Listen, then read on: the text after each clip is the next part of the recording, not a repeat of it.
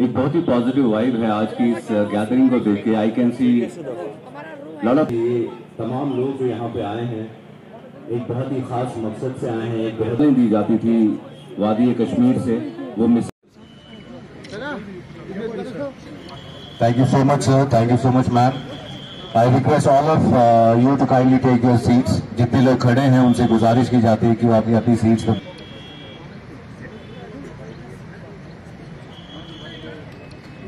हम अपनी जान के दुश्मन को अपनी जान कहते हैं। मोहब्बत की इसी मिट्टी को वो आप सब लोगों तक पहुँचाने के लिए और हमारे वादी कश्मीर के एक बहुत ही प्रॉमिस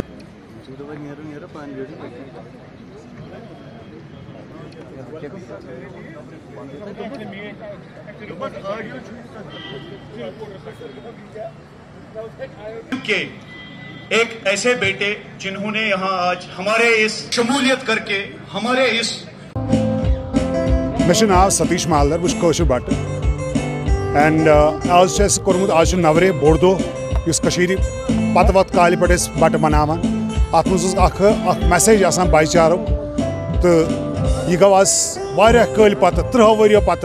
आज वुचान तुम सारी, ये लुक आज कोर गो संभव सारी हिंद लुक आए इकवटे या दोहस पे हावन सह again the message peace prosperity and together we are मैं यहाँ पे 2013 से हूँ। मैंने पीएम पैकेज में यहाँ पे ज्वाइन किया था। जब स्टार्टिंग में हम आए तो माहौल कुछ ऐसा लग नहीं रहा था। We were not invited over here लेकिन धीरे धीरे वक्त के साथ, जैसे आज हमारा नवरे का त्यौहार है, जो कि it's the onset of new year हमारे नए साल का ये है। और साथ में ही आज नवरात्रि भी है फ़र्स्ट नवरात्रा जो हम मानते हैं, माता के दिन है।